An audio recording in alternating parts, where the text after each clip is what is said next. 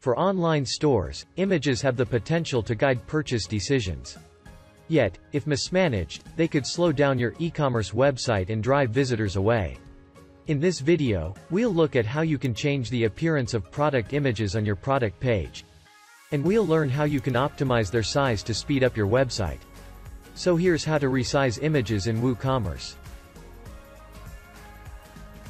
If this video ends up being useful to you, please consider subscribing to our channel for more WordPress and WooCommerce related topics.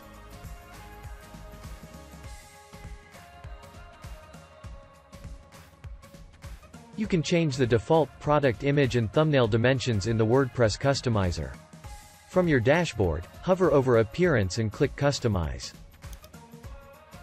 Then select WooCommerce.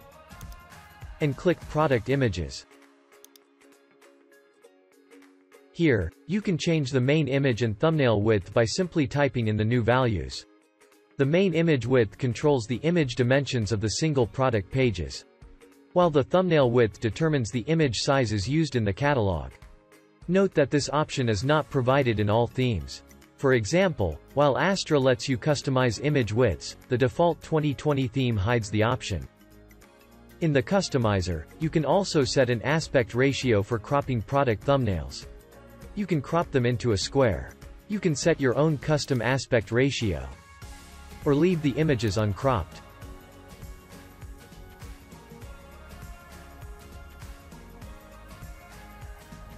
There are three image sizes defined in WooCommerce. WooCommerce Single, WooCommerce Thumbnail, and WooCommerce Gallery Thumbnail. The single size displays the full product image the way it is uploaded. And it has a default size of 600 pixels. The thumbnail size is used in your catalog, where it's cropped into a square shape and has a default size of 600 pixels. The gallery thumbnail is used in your image gallery, where it's square cropped to 100 by 100 pixels. Store owners with coding knowledge can control these image sizes using hooks. You can use the WC Get Image Size function to get image size definitions and modify them. For example, you can use this bit of code to change the dimensions of your thumbnails to 300 by 300 pixels. Copy the code from our article in the description below.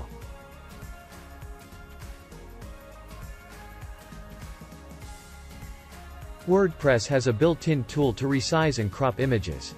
Head to your media library and select an image to resize. Then click Edit Image. Here, you can scale down the image dimensions. The original dimension of this image is 1920 by 1080 pixels. You can find out the optimum size by right-clicking and inspecting any page of your website.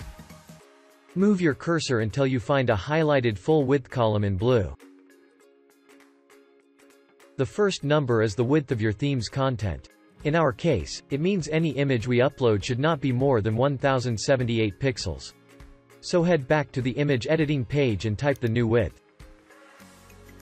The height will be automatically calculated based on the existing aspect ratio. Then click Scale. The image has been scaled. You can also crop the image using this button. Then use the handles on the corners and edges to crop the image. When you're done, click Save.